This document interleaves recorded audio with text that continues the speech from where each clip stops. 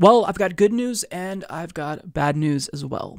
So, the good news is that House and Senate Democrats have introduced legislation to increase the federal minimum wage from $7.25 per hour to $15 per hour.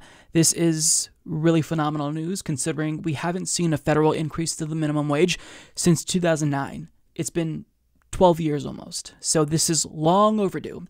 The bad news, however, is that this isn't actually going to fully take effect until 2025, which is bad because we're not actually getting to a point where workers are getting a living wage. Now, at face value, I think that it's smart the way that Democrats constructed this legislation because they're making it so that way gradually the minimum wage goes up each year. Now, they're doing this so that way they don't hurt small businesses and the economy. And the way that it's going to work is if this passes, it'll increase immediately to $9.50 per hour, and then $11 an hour the following year, then $12.50 an hour by 2023, $14 an hour by 2024, and finally we'll arrive at $15 an hour by 2025. Now, it makes sense the way that they're doing this because what they're doing is they're modeling this after Seattle, which is a case study that proves how effective and successful, you know, cities can be and how great it can be for workers if we actually do increase the federal minimum wage. The issue is that modeling it after Seattle, while, you know, it, it sounds good on paper, they did this. Seattle did this in 2012. Uh, whereas we're doing this now in 2021, which is a very different story. So, if Democrats actually want to solve the problem long term, then I could digest this easier if they raised it to $20 an hour, for example, over a longer period of time, or they kept this same exact time frame and they just attached everything after 2026 to inflation. So, it, you know, the minimum wage would automatically increase every single year to keep up with inflation. But they're not doing that. So the ask here isn't great. And especially considering what workers are owed, this really it doesn't seem sufficient to me. Now having said that though, it's better than nothing right? It is better than nothing. Even if it doesn't take effect until 2025, a 2019 study by the Economic Policy Institute found that even if the minimum wage wasn't increased until 2025, that would lift 33 million workers' wages.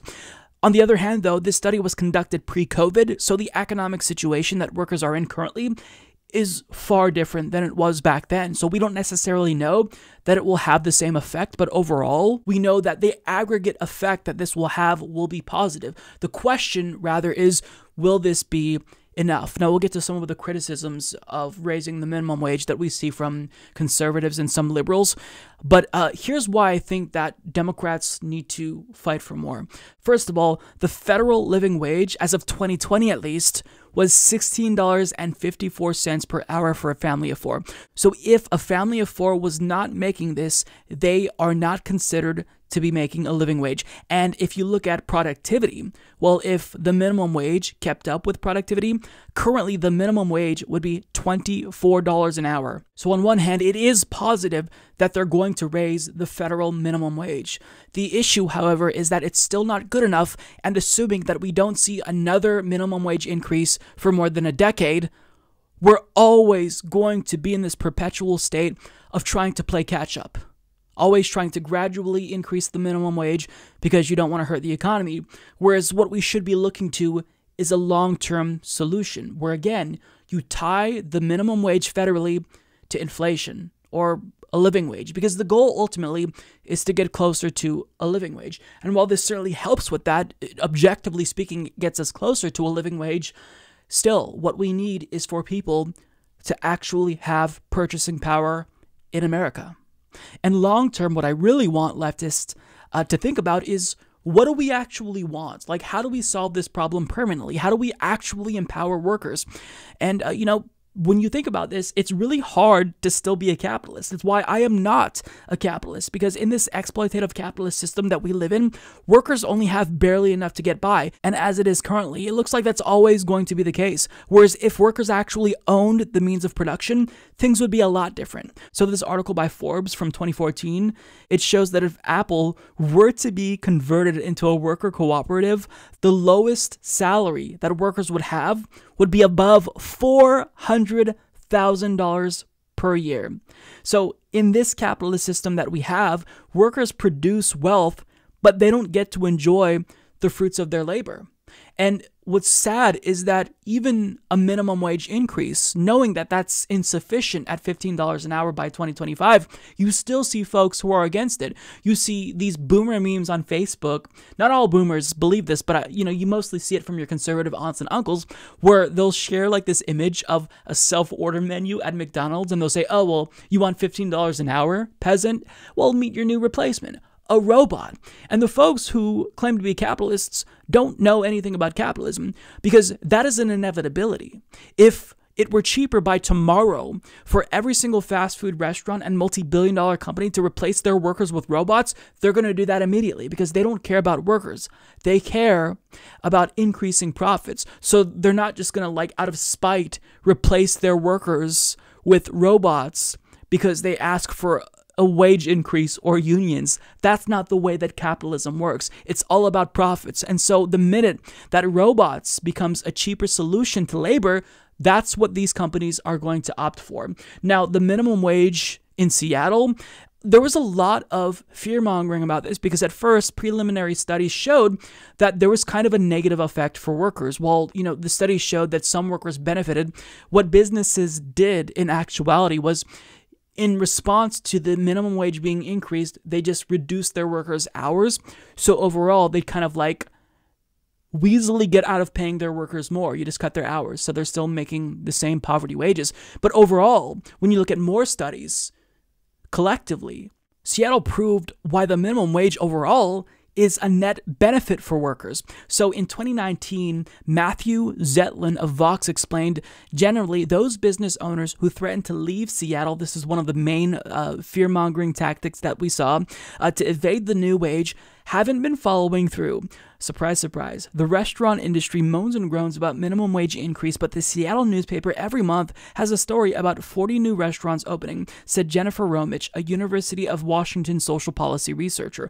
According to the Bureau of Labor Statistics, the number of jobs in restaurants and bars in the Seattle area has grown from 134,000 to 158,000 since 2015. Surveying employers, Romich and other researchers found the most common response to the wage increase was to to raise prices or fiddle with workers' hours, and a very small percentage were thinking about withdrawing or leaving the city. So that's one of the complaints about the minimum wage. But they continue the story for employees is much more varied. The minimum wage for large employers jumped from 11 to $13 an hour from 2015 to 2016. The economists observed the impact of the hike in 2017 and found it had dramatic effects on the low wage workforce and employment. Not all of them were good. They found that the policy reduced hours worked in low wage jobs by 6 to 7%, while hourly wages in such jobs increased by 3%.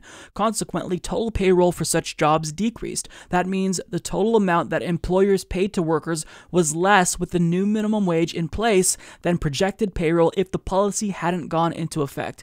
The data, researcher Mark C. Long explained, suggested a tipping point between $11 and $13 an hour when it comes to less tenable to keep work in the city. Critics were quick to point out that this likely wasn't solely due to the minimum wage policy. Seattle's labor market continued to heat up during that period, reducing the number of low wage jobs compared to high wage jobs overall.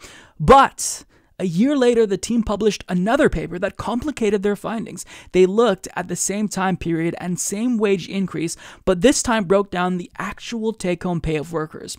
They found that workers who were already employed at the low end of the wage scale in Seattle enjoyed significantly more rapid hourly wage growth following wage increases in 2015 and 2016.